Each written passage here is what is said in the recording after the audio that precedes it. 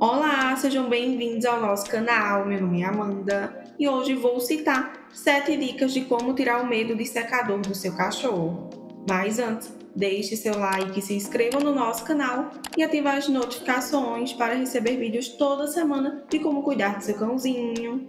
Introduzir um cachorro ao secador pode parecer uma tarefa desafiadora, mas com as abordagens corretas e um pouco de paciência é possível tornar esse processo tranquilo e até mesmo agradável para o animal.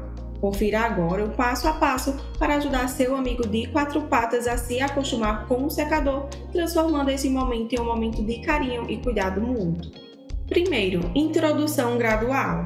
Comece introduzindo o secador ao redor do cachorro enquanto está ligado, para que ele possa se acostumar com o som e a sensação.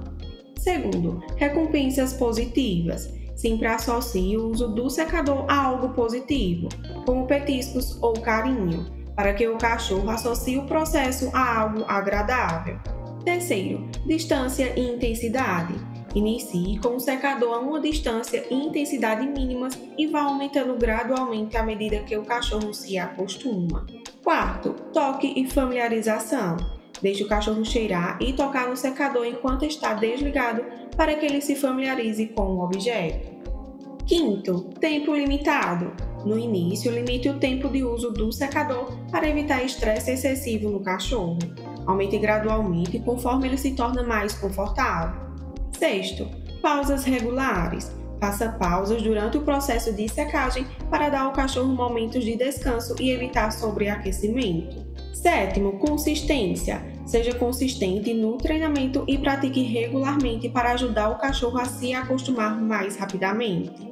E lembre-se sempre de respeitar os limites do seu cachorro e avançar no treinamento no ritmo dele. Com amor e dedicação, vocês podem transformar essa experiência em um momento especial de conexão e carinho. Se você quer aprender não só como secar seus cheetos de forma tranquila e sem estresse, mas também como fazer todos os procedimentos necessários para manter a higiene em casa, desde o banho, corte de unhas, escovação, desembolo e muito mais, clique no link na descrição do vídeo e se inscreva no método Cheats Educado.